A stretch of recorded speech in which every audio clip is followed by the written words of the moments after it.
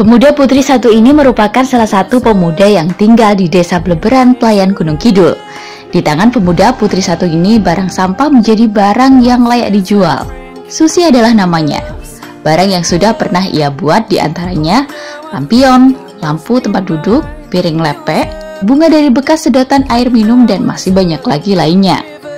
Menurut Susi, bahan barang sampah didapat dari objek wisata air terjun Sri Keduk Pelayan. Setelah bahan didapat, lalu barang itu dicuci dengan air hangat sampai bersih dan lalu segera dibuat. Susi dibantu dengan tiga pemuda putri yang masih satu desa dengannya. Oke, untuk memulai awalnya sejak kapan, Mbak? Sejak sebelum puasa, Mas. Sebelum sebelum bulan puasa yang setahun yang lalu. Itu atas apa namanya alasannya membuat itu Mbak? Dulu itu ada pelatihan toh di desa, terus saya kembangkan kembali ingatan loh dulu pelatihan tiga hari terus saya tuh tertarik terus saya buat di rumah jadi sudah satu tahun gak? iya itu membuatnya dari apa saja mbak?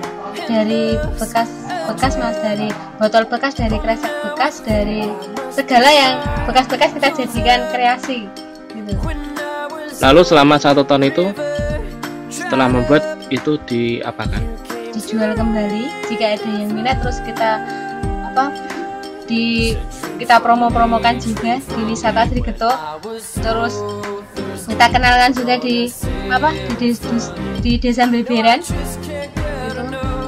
tapi tidak bisa produk banyak hanya karena baru belajar lalu untuk harga jualnya sendiri berapa Pak?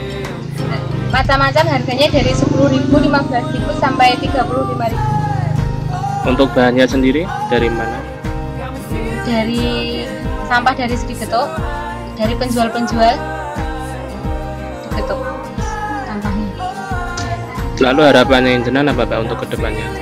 Harapan saya usaha saya ini bisa melejit, bisa apa ya mas, bisa menghasilkan apa tambahan bagi keuangan dan bisa mengurangi pengangguran kalau apa kalau maju daripada anak muda tidak ada kreasinya kan